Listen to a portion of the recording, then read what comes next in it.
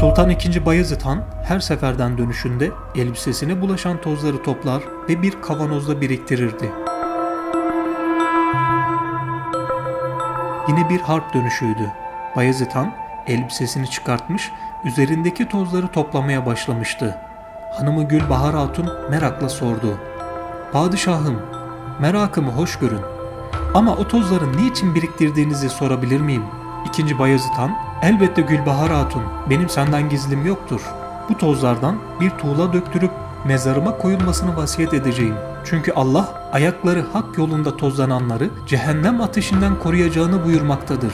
İşte hak yolunda küffarla savaşırken üstümüze bulaşan bu tozları bu yüzden topluyoruz. Vasiyetimizdir. Öldüğümüzde bu tozları kabrime koysunlar.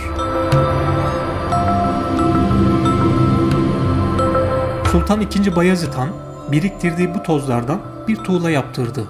Bu tuğla vasiyeti gereğince öldüğü zaman kabrine konuldu.